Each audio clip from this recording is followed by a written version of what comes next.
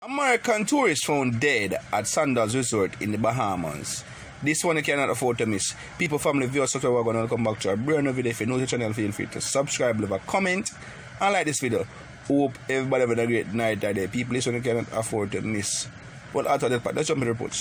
NBC News have reported that the American man who was experiencing symptoms of the 19 virus was found dead at the Sandals Emerald Bay Resort in the Bahamas. The NBC said the man is believed to be in his 70s and no foul play is suspected.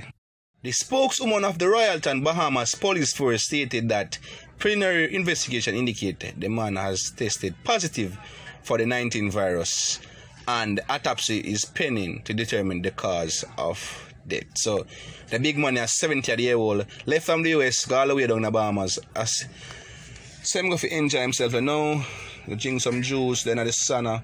Probably going to pool, all about in the. There's no sun that's big already. They did they, they, probably go all look one sleep, probably night or day.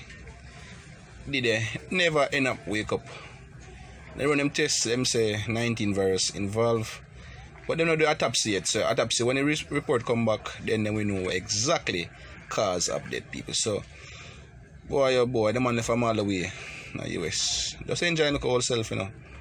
But no, never end up if to go back to the US alive, people. So, this one of people, we have more reports. People want to continue to be safe on the road out there, and the street is not easy and protect yourself from the virus as well.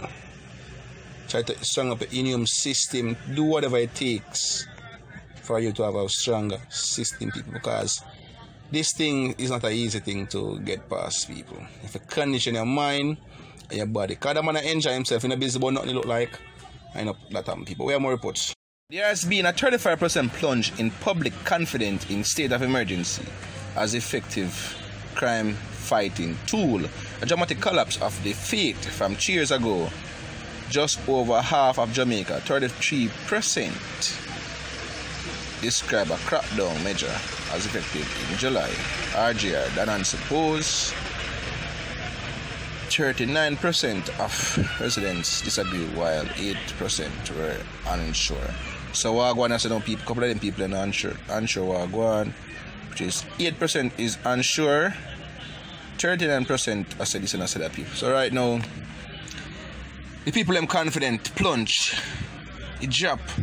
People don't believe in the state emergency no more. They need a proper fighting method of crime. And this is all from the people's mouth. You know what I mean? So right now, people need more strategy. People have more reports.